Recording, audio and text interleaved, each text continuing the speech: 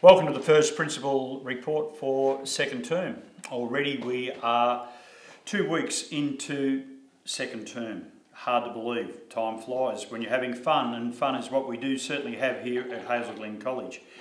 Last Saturday, the 21st of April, we had our open day here at the college. Can I take this opportunity, please, to thank a number of people. First of all, the students.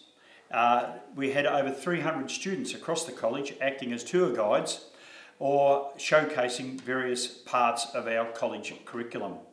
The students did an absolutely marvellous job throughout the morning from 9 o'clock until uh, 1 o'clock in the afternoon.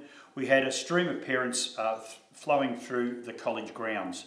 Uh, certainly, the enthusiastic tour guides uh, took them to all parts of the campus around our college. So to those students, thank you very much. To the staff, congratulations, fantastic showcasing of our college.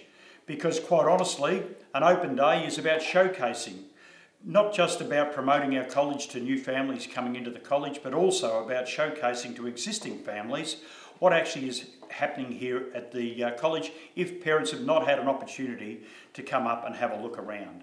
So certainly from our kindergarten program to our junior school to our middle school and to our Year 9 and Year 10 senior school program, uh, a job well done by all. So to all involved, thank you very much.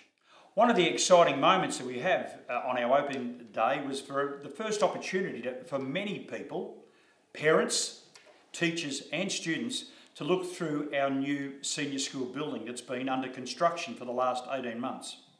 We're expecting handover of this building uh, at the end of next week. So to have a sneak preview was an absolute delight for many people.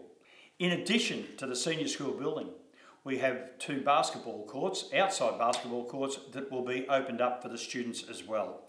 And also for the staff, we have another car park. Over the next few weeks, we're looking at having our uh, second bike shed, a bike shed for the middle school and senior school students to be completed. Waiting on the concrete to be poured for the foundation for the floor and also the rails to go in. And while I'm talking about the bike shed, can I also please encourage once again students about sustainable transport, walking to college, riding or scootering. Over the week we've had a number of Anzac services and I'd like just to uh, give a brief outline of those.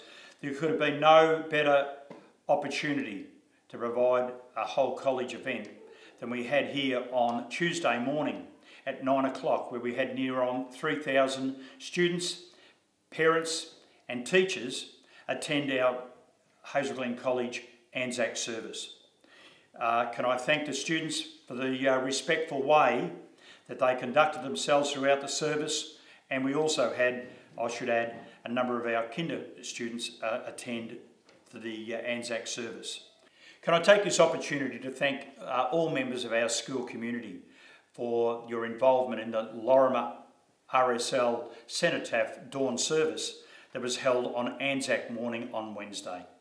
Again, couldn't be any prouder moment than for all to be part of that uh, respectful and reflective service that was held at Laurimar in the early hours of Wednesday morning.